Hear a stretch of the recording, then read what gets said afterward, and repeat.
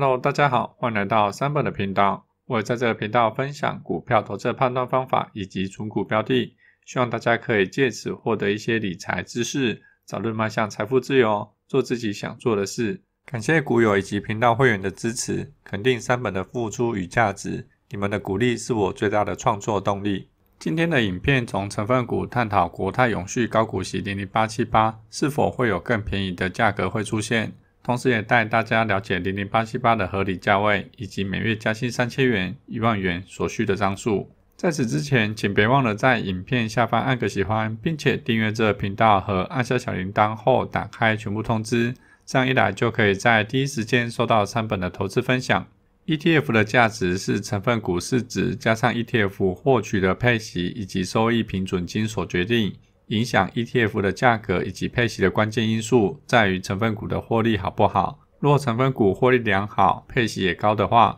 那也代表零零八七八能稳定配出像前两年一样的股利，才能支撑目前零零八七八的股价继续维持或往上爬。反过来说，若成分股的获利不佳，自然配息就无法维持去年的水准，连带影响零零八七八所配发的股息。有可能从每季零点二七元降到零点二元，全年配息从一点零八元降到零点八元，降幅达二十六趴。如此一来，零零八七八的价格往下掉的几率就很大。若零零八七八五月没有大动作进行成分股调整，届时我们就有机会买到零零八七八半年均线十六点五元或者以下的价格。所以，我们现在就来看一下目前成分股的配发股利状况。如上表所示。以近几年皆配发高股息的华硕以及人保，今年股息配发分别为十五元以及一点二元，对应其股价分别为五点五趴以及四点七五趴，跟往年动辄六趴以上，其实下降很多。其余电脑品牌以及代工厂，广达以及宏基，还有在五趴以上。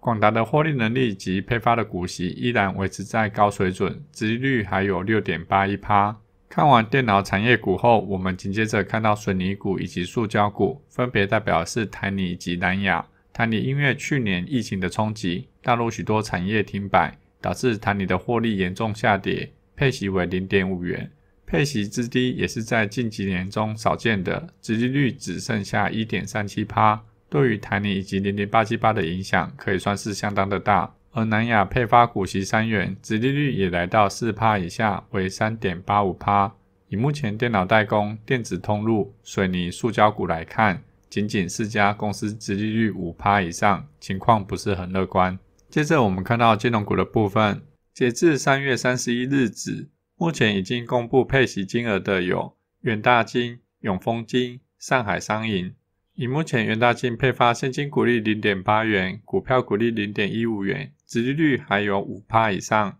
另外永丰金配发现金股利零点六元，股票股利零点二元，殖利率也达五点五趴左右。殖利率已含股票股利。永丰金已经连续十三年配发股利，二零二三年决议每股配发零点八元，是七年以来次高。另外，上海商银配发现金股利一点八元，殖利率三点八趴左右。除了三档金融股公布配息，其余六家金融股都还在等董事会决定，预估也要在四月中过后才会公布。所以三本就先前各家金控的营运状况来评估今年可能分派的股息。如上表所示，我们可以发现，尚未配息的金控，除了低金接近五趴之利率，其他金控都不是很乐观。首先，我们看到国泰金，国泰金因去年疫情影响，在其他权益亏损五千亿，直接把保留盈余四千七百八十亿元花光，所以若要配息，就要动到资本公积。以二零二零年 EPS 二点五八元，盈余分配率预估三十趴左右，三本预估配息金额为零点八元。以目前股价来看，殖利率仅一点九趴。接着，我们看到开发金。今年开发金特别股已宣布不配息，普通股的部分相信也是不好，因为开发金在去年其他权益亏损达一千一百七十一亿，就算把资本公积三百三十五亿以及保留盈余六百七十三亿都给算上，还是不能弥补亏损，所以三本认为开发金很有可能股利会挂零，但如果把 EPS 零点九八元以及盈余分配率预估二十趴考量进去。可能配发零点二元现金股利，殖利率约为一点五趴。不过三本认为开发金股利为零的几率还是很大。接下来是兆丰金，兆丰金是关谷金控，有看三本频道的股友都知道，兆丰金配发股息是以慷慨闻名，在盈余分配率都能达八十趴以上。以去年 EPS 一点三二元左右，现金股利以及股票股利预估分别为零点九元以及零点一元。以目前股价计算，殖利率约为三点七趴。紧接着是中信金，中信金素有一元金之称。不过，这一元是在获利达两元以上才会配发。去年 EPS 受疫情影响，EPS 下降到一点六七元。三本预估盈余分配率仅四十趴，预估配息零点七元。以目前股价计算，殖利率约为三点二趴。接着是富邦金，富邦金因去年防疫险影响，在其他权益亏损两千七百四十亿。不过，富邦金保留盈余有三千九百六十亿元，不用动到资本公积即能发出股息。但是三本认为富邦金盈余分配率不会太高，大约三十趴，预计配发股利一点零五元。以目前股价计算，殖利率仅为一点七趴。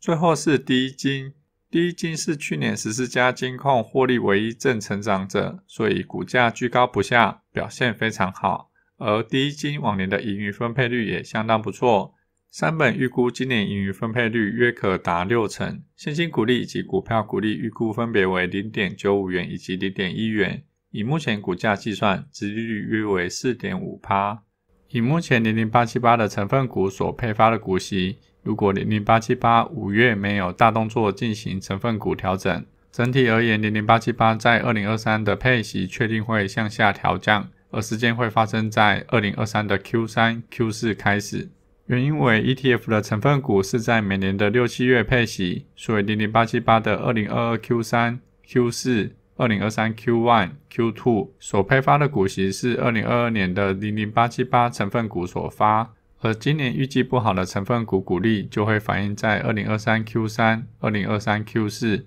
二零二四 Q one、二零二四 Q two。在这几个季别，预估每季股利会从零点二七元下降到零点二元左右，下降幅度约二十六趴。而届时零零八七八的股价即将面临下修，有可能来到十六点五元或者更低的价格。以目前十七点三元左右的零零八七八，跟十六点五元的零零八七八，对于小资主来说，八百元的价差还是很有感的。更低的价格也有助于我们累积的张数。以两百张来看的话，价差就达十六万元。接下来，我们就以十六点五元的成本价，以及每年配息恢复成一点零八元来计算每月加薪三千元、一万元，我们需要多少张的零零八七八为目标呢？三本同样以表格的方式来呈现较为清楚。可以从以上表格发现，如果我们想每月加薪三千元，以零零八七八成本价十六点五元，我们需要买入三十四张零零八七八，总投资金额需要五十五点九万元，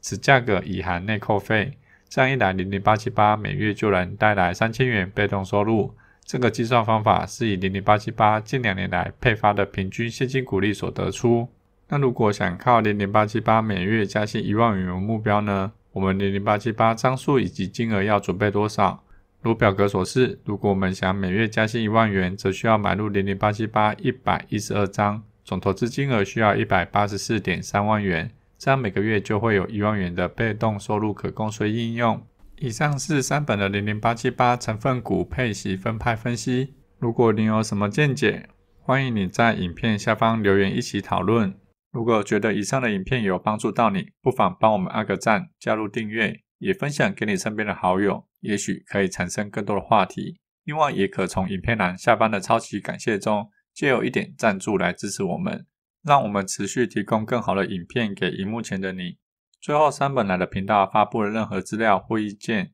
纯粹资料整理，概不构成购买、出售、销售任何投资、参与任何其他交易。今天的分享就到这边。如果你对影片有任何见解，欢迎在下方留言。记得订阅我们的频道并点开小铃铛。我们将于每周三下午八点准时发布新影片。我是三本，我们下次见，拜拜。